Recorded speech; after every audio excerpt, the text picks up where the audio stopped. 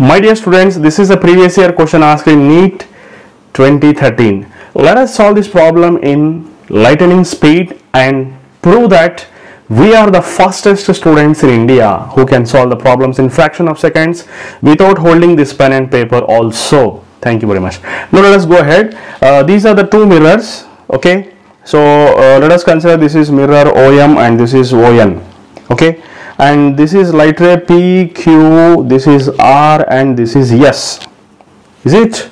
Then after that you should remember one thing here that uh, this angle between the two mirrors is given as 70 and it is also said that according to the problem uh, parallel it is reflected parallel that means here RS is parallel to OM RS is parallel to OM therefore uh, this is 70 means this is also going to be 70 these are called as corresponding angles. If this is 70 this is also going to be 70 because this is all this is called as glancing angles okay? This is called as glancing angles is it? Okay? So 70 70 140 means uh, this is going to be 40 because angle sum property sum of the angles in a triangle is nothing but 180 so this is going to be 40 but this plus this together it is going to be 90 because this is normal. If this is 40 then the remaining part is going to be 50 that's it. Without pen and paper you can solve the problem. Your answer is going to be the d option. Hope you have enjoyed. Thank you very much. Dear students today i am going to solve this problem which is related to ray optics reflection concept. You can just see the lengthy method given in the books how can you avoid this lengthy method and bypass with the shortcut method so that you will be the fastest student in India? Then you have to learn a small concept here. How can you solve this problem in fraction of seconds without even holding this pen also? But to make you understand how to use pen so let us see here this is a mirror okay? So light ray will enter strike the mirror and gets reflected back you all know angle of incidence is equal to angle of reflection. Similarly this side glancing angle this side glancing angle both are going to be same here okay? So how are you going to solve the problem here? According to the problem it is given that the light ray enters from this side. Strike one mirror. This is a mirror which is given. And this is one more mirror which is given.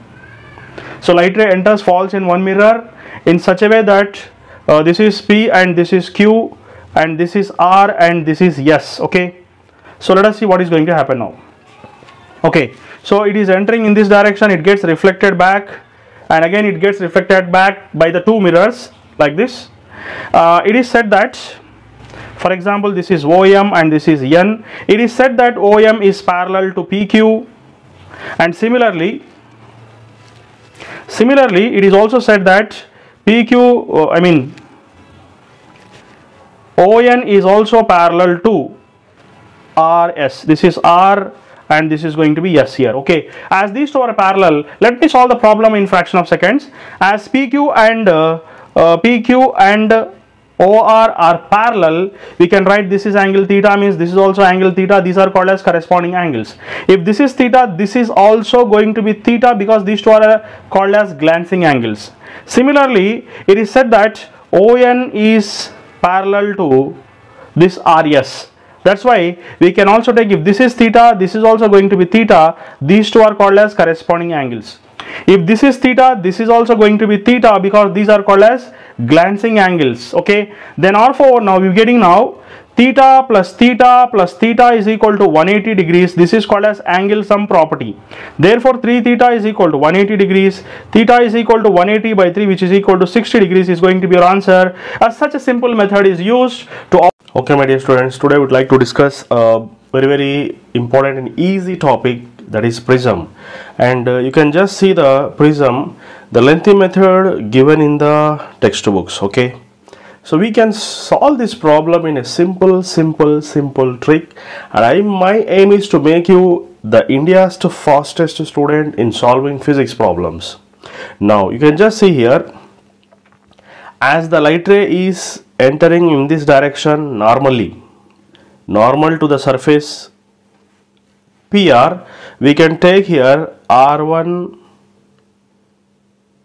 R2 sorry this is R2 is equal to I2 is equal to 0 okay? So here I1 is equal to I r1 is equal to r whereas i2 r2 is equal to 0 because this is going in the normal direction in this direction okay so then we can write here you all know that there is one identity in the prism that is r1 plus r2 is equal to a. R1 means r r2 is 0 this is a. Okay? So you all know that mu is equal to sin a by sin r. Okay? Sin a by sin r.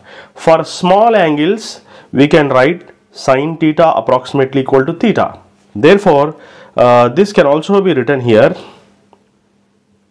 as mu is equal to i by r but I have proved that r equal to a therefore mu is equal to i by a i is equal to mu into a i is equal to mu into a. This is a simple simple short method to solve the problem like this. Hope you have enjoyed. Thank you very much. Have a nice Friends, today I would like to discuss a very very amazing and time saving short trick where you can do the problems with uh, faster than a rocket and you will be the fastest student in India if you follow these methods which I am going to teach. Now if you observe here there are uh, there is a problem where you can consider that there are two equiconvex lenses having focal length f1 and f2. Therefore resultant focal length 1 by capital F1 is equal to 1 by f1 plus 1 by f2. In the second case, in between these two convex lenses, there is a glycerin. Okay. And here, the refractive index is 1.5 for both the lenses. Even the glycerin also having same refractive index. When the refractive index of glycerin is also 1.5 and lenses also 1.5, then, then, then, then their focal lengths are going to be same. But as in between these two lenses, uh, there is a liquid here and the shape of the liquid is just like a concave lens. Just like a concave lens. Therefore focal length of a concave lens is negative convex lens is positive. You just have to do one thing here that's it.